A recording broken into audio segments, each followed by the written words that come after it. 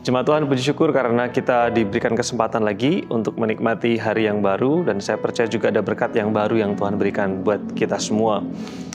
Sekali lagi juga bersyukur karena kita diberikan kesempatan untuk memulai hari dengan berdoa, dengan merenungkan firman Tuhan di pagi hari ini. Melanjutkan renungan yang kita sudah jalani selama kurang lebih dua minggu ini tentang orang Kristen yang bertumbuh. Di renungan yang ketiga kita bicara tentang pertumbuhan untuk apa? Kita mendapatkan kebenaran di sana bahwa pertumbuhan didesain, dirancang Tuhan untuk menghasilkan buah. Nah, sekarang yang menjadi pertanyaan adalah buah seperti apa yang harus kita hasilkan? Buah yang seperti apa yang seharusnya orang Kristen itu hasilkan di dalam kehidupannya setelah dia menerima firman, setelah dia mendapat firman, setelah dia mendapat benih kebenaran. Kalau kita merujuk kepada khotbah Yohanes Pembaptis waktu dia melayani di tepi sungai Yordan di daerah Galilea. Dia mengatakan bahwa hasilkan buah sesuai dengan pertobatanmu di dalam Matius pasal 3 ayat yang ke-8. Jadi buah yang bisa kita hasilkan, yang orang percaya harus hasilkan adalah buah pertobatan. Ketika orang disentuh oleh firman, ditegur oleh firman, dinasehati oleh firman, seharusnya orang percaya itu berbuah dan menghasilkan buah pertobatan. Apa itu buah pertobatan? Buah pertobatan artinya orang Kristen harus bisa menunjukkan kalau hidupnya tidak sama lagi. Yang dulu suka mencuri sekarang tidak mencuri lagi. Yang dulu suka berbohong sekarang tidak berbohong lagi. Yang dulu tidak setia sekarang menjadi setia yang dulu tidak jujur sekarang menjadi orang jujur itulah buah-buah pertobatan yang harus dihasilkan. Tanda bahwa firman Tuhan sungguh-sungguh bekerja adalah adanya perubahan di sana, ada perubahan hidup. Yang dulunya suka marah sekarang menjadi lebih sabar, itu adalah buah pertobatan. Yang dulunya suka dosa, tinggal dalam dosa, punya kebiasaan dosa, sekarang berubah. Itu adalah buah pertobatan. Tuhan ingin setiap firman yang menyentuh kita itu kita responi dengan baik seperti tanah yang baik yang membiarkan firman itu bertumbuh, mengubah akhirnya kehidupan kita berbuah, buah pertobatan. Lalu kemudian jenis buah yang kedua adalah buah roh Bapak Ibu dan Saudara yang terkasih dalam Tuhan Yesus Kristus. Buah roh berbicara tentang karakter, berbicara tentang sikap, berbicara tentang attitude, berbicara tentang kehidupan baru.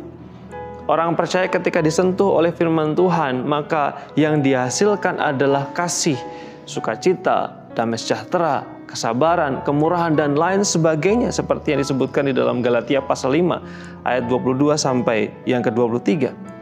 Jadi orang bisa merasakan bahwa kehidupan seseorang itu menghasilkan kasih.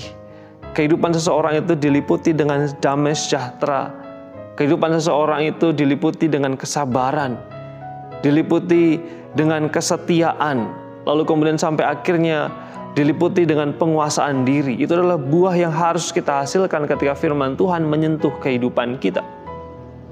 Pertanyaannya, apakah sungguh-sungguh kita semakin mengasihi?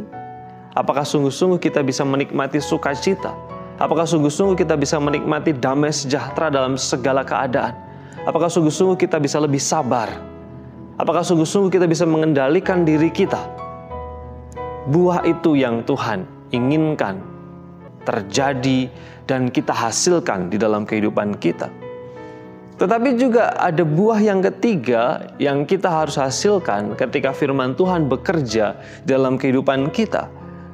Selain buah pertobatan, selain buah roh, ada buah yang ketiga yaitu buah jiwa Tuhan ingin supaya orang percaya itu menghasilkan jiwa. Maksudnya adalah orang percaya punya kerinduan untuk membawa jiwa kepada Yesus. Orang percaya memiliki hati untuk menolong orang lain bertemu dengan Yesus, kenal Yesus supaya kehidupannya diubah seperti halnya kehidupan kita yang sudah berubah. Matius pasal 28 ayat 19 sampai 20 Tuhan memberikan perintah yang jelas bahwa kita harus pergi menjadi saksi supaya bangsa-bangsa menjadi murid seperti Kristus. Ini adalah panggilan kita. Ingat satu contoh yang kemarin saya sampaikan tentang biji tomat. satu, tetapi punya potensi untuk menghasilkan hidup yang lain. Orang percaya ketika hidupnya disentuh oleh Tuhan, punya potensi untuk membawa hidup-hidup yang lain kepada Tuhan. Apa saja yang harus kita hasilkan ketika kita bertumbuh, ketika kita sungguh-sungguh mengalami pertumbuhan yang sehat?